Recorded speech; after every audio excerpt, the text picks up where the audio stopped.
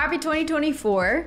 I wanted to hop on here to give an update about my life, about the channel. I'm taking a break to catch up on life, to catch up on work, to catch up on editing these videos. So if you haven't seen any videos, that's why. I haven't stopped shooting, so if you want to keep watching my reactions unedited, you can check that out on Patreon. But you can also wait for the edited versions on YouTube. You know, last year I hopped on here, I didn't know what to expect. I was just like, let me have some fun, watch some shows, and then it turned into this amazing community. So thank you guys. It's been a lot of fun. I love seeing your comments. I love watching it with you guys, so it actually feels like a journey. And now, looking into 2024, I'm like, Attack on Titan, the end is near, and I'm really sad. But, you know, I'm thinking about what I'm gonna do next. I'm thinking some different genres, maybe multiple shows at once. But yeah, I have a lot of thoughts going on there. And I also really wanna do content about Japanese culture and language in general, not related to reactions. I could also react to things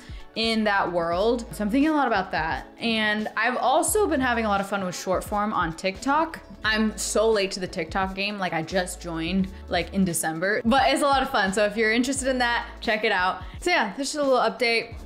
Thank you for 2023 taking a little break now and then I'll be back soon with more content. So thank you for watching and I'll see you soon.